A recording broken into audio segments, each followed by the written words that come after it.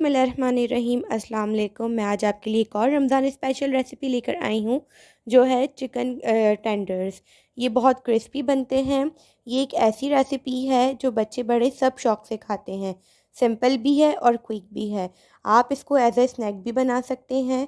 हम अब ऐड करते हैं चिकन के अंदर अपना लहसुन अदरक का पेस्ट। यहाँ पर हमने लिया है टू टी स्पून लहसुन अदरक का पेस्ट।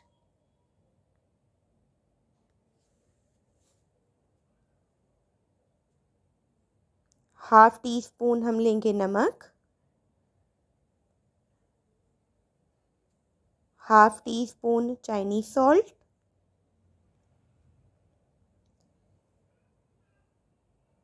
half teaspoon काली मिर्च पाउडर,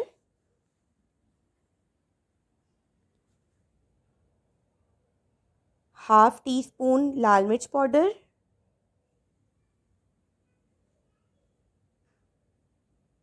मैदा लेंगे हम टू टीस्पून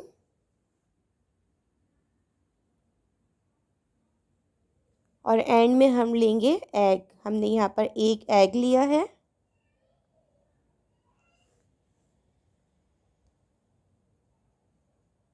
हमने हाफ़ के जी ही चिकन ली थी. ब्रेस्ट पीस लिया था, जिसको हमने स्ट्रिप्स फॉर्म में कट कर लिया था.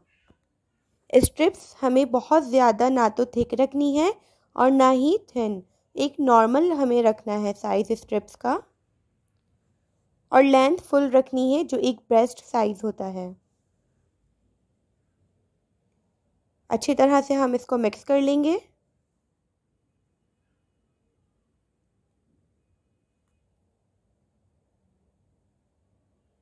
अब हम इसको रख देंगे थर्टी मिनट्स के लिए मैरिनेट होने के लिए। चिकन मैरिनेट हो गई है। हमें इसको डीप फ्राई करना है। हम इसमें मैदी की कोटिंग करेंगे।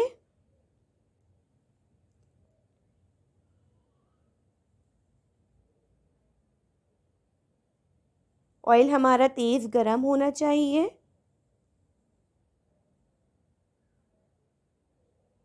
इसी तरह से हम अपनी सारी स्ट्रिप्स ऑयल के अंदर डालते जाएँगे।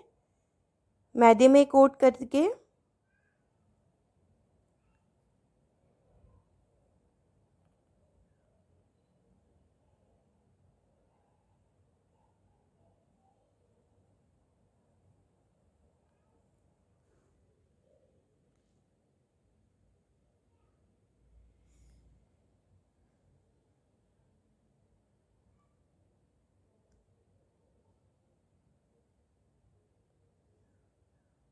स्ट्रिप्स हमने डाल दी ही। यहाँ पर इसके लुक देख लें।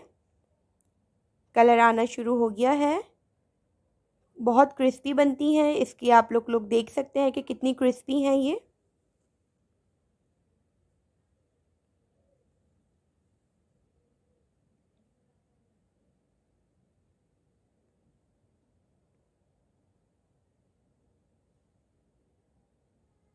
बस इसको हम फ्राई करेंगे। इसको और कलर देंगे।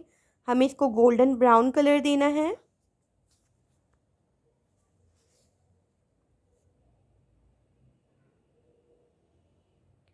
चिकन टेंडर्स हमारे रेडी हैं, आप इसके लुक देख लें, इसका कलर देख लें। और कितनी क्रिस्पी बनी है। आप लोगों को मेरी रेसिपी अच्छी लगी तो आप लोग लाजमी ट्राई कीजिएगा। मेरी वीडियो को ज़्यादा से ज़्यादा शेयर कीजिएगा। मेरे चैनल को सब्सक्राइब कीजिएगा।